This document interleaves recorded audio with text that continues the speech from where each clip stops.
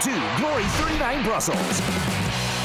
KIX presents the world's premier kickboxing league. Seaweed telecast is the U.S. What a shot! Newly crowned welterweight champion Cedric Doumbé defends against Yoann Kongolo. Plus the co-headline bout, Jamal Ben Saddik clashes with Guto Inocente.